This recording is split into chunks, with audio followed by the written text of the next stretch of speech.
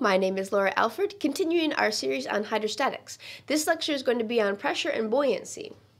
So pressure and buoyancy are two key concepts of hydrostatics, um, worthy of their own lecture, I thought. So that's what this one is aimed at here.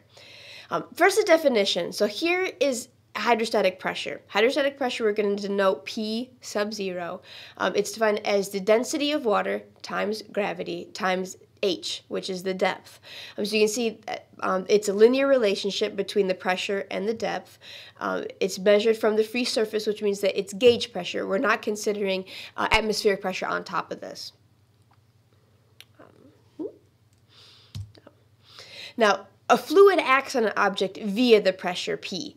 Um, so, like I said, like a, just a general body here can be anything. Pressure acts all around it. Remember that pressure is a scalar quantity. It's just a number, right? It doesn't have any direction to it yet. It's not until it encounters an object and it acts normal to its surface that you actually get a direction and a resulting force from that. Okay. Um, you might have run into Archimedes' principle before um, hopefully in high school or something like that. Um, all it really means is that the buoyancy of an object uh, or buoyant force is equal to the density of the fluid that it's in times gravity times the volume of the displaced fluid. So you take any object and stick it in the water, however much water it displaces, not necessarily its volume, but how much it displaces. Multiply that by the density of water, in this case gravity, you get the total buoyant force that's acting on this body. Um, so obviously the buoyant force is very much dependent on how much volume is in the water right? So here's an illustration.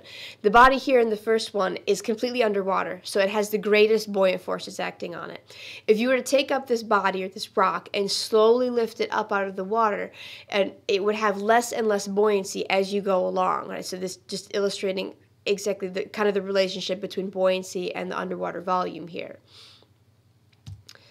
Um, for a ship it's the same thing, right? So this is sort of like a cross section of a ship. The ship has a given underwater volume here. Again, it's represented by this uh, triangle, this nabla symbol here. The total buoyant force is just going to be equal to the density of water that it's in times gravity times underwater volume. Um, no matter how complicated the ship is, right, how complicated the hull is, if you can get the volume, you know the total buoyant force here. Okay. Um, uh, just a note on the density of water, right? If you're in the ocean, you're in salt water. If you are in the Great Lakes or on a river, you're in fresh water. And even though it doesn't look like these numbers change that much, it does make a difference. Um, if you were in a ship and you were in the ocean, like in salt water, and you drove up into a river, um, then you the the density of the water would change and you actually lose some draft because the um, density of, of, salt water is greater so it can give more of a buoyant force. So if you're if you are designing a ship that's going to be transitioning between these two you need to make sure that you design it such that the draft can handle this change just due to the density of the water. Okay so related concept to this is now we're going to talk about static equilibrium static equilibrium has two conditions that need to be met. Um, the first is that the total amount of force, the forces need to equal zero. Um, in general, in, for the case of ships, it means that the total buoyant force is equal to the weight of the ship. Um, the second condition is a little bit trickier. It means that the sum of the moments equals zero, and I'll explain what I mean by that. Um, so condition one, right, here is a ship. It sits in the water. When the buoyant force is equal to the weight of the ship, then it is at rest, and it has a given draft T. Okay? That one's easy. Um, to look at condition two, now we need to, a little bit more information. The weight of the ship acts through the center of gravity, denoted here G. The uh, center of buoyancy is the center point where all of the buoyant force is considered to act. So that's B here. Um, if G and B are aligned vertically, it means that there are no moments and the ship, it, the second condition is met, the ship is in static equilibrium if the ship is tipped, something comes along, um, the G and B are not aligned vertically, the forces now induce a moment, and so now it is no longer in static equilibrium. But ships like to be in static equilibrium, so they will try to get back to this condition here.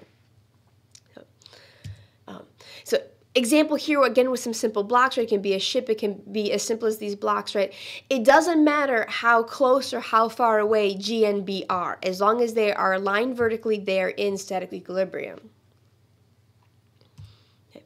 um, for a ship here okay so going back uh, we have g and b when it's in static equilibrium g and b will be aligned on the center line of the ship almost always, um, where the center line of the ship intersects the keel. We're going to uh, call that a new point K because we'll use that in the next lecture. Um, this assumes port and starboard symmetry with the ship, which is generally the case, so you're pretty safe there.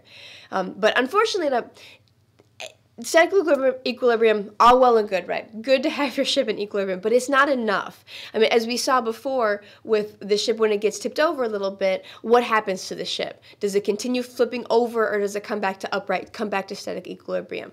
That is the study of stability, and that's what we're going to talk about in the next lecture. So thank you for much. Thank you very much for watching, and see you next time.